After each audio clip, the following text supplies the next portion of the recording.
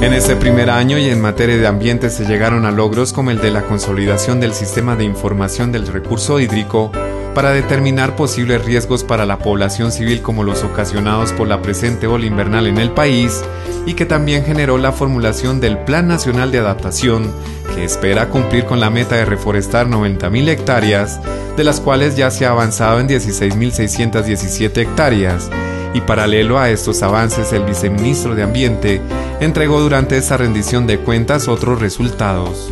En toda la historia republicana de Colombia, hasta el momento, hemos logrado reforestar cerca de 310 mil hectáreas de extensión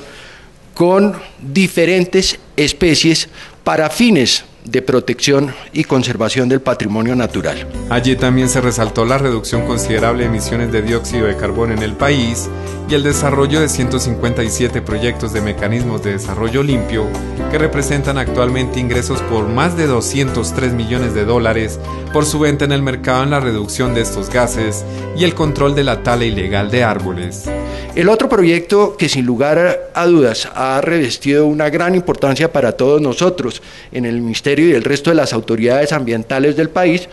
tiene que ver con el tema de la gobernanza forestal. Allí tenemos en este momento 11 proyectos piloto eh, siendo trabajados con las autoridades ambientales regionales en materia de capacitación para avanzar de una forma muy decidida en procedimientos de transparencia, con instrumentos de comando y control, verificación en tiempo real de toda la movilización de los permisos de aprovechamiento que hoy transitan por todas las carreteras del país. El proceso de otorgamiento de licencias ambientales con la implementación de la ventanilla integral de trámites en línea vital y castigos ejemplares a la minería ilegal son otros de los resultados importantes en este primer año de gobierno. Desde agosto del año pasado a la fecha, hemos logrado materializar 52 operativos de control y sancionamiento a los proyectos de minería ilegal que están dispuestos en cerca de 18 departamentos del país, especialmente en lo que refiere a minería eh,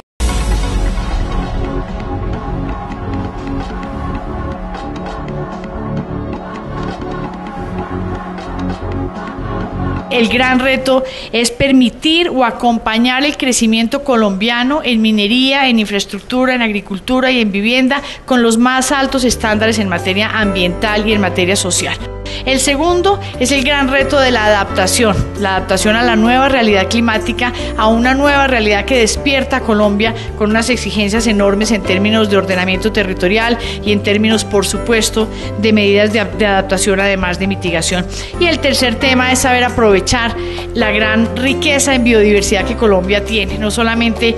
la biodiversidad es maravillosa por, por, su belleza, sino que Colombia tiene que aprovechar ese, esa, ese regalo, digamos, que le dio la naturaleza de tener, de ser uno de los países más ricos en biodiversidad y aprovecharlo en el buen sentido, que logremos nosotros posicionarnos internacionalmente y que ojalá esa riqueza de Colombia se traduzca en una riqueza para la población más pobre de Colombia a través de mecanismos de intercambio u otros mecanismos.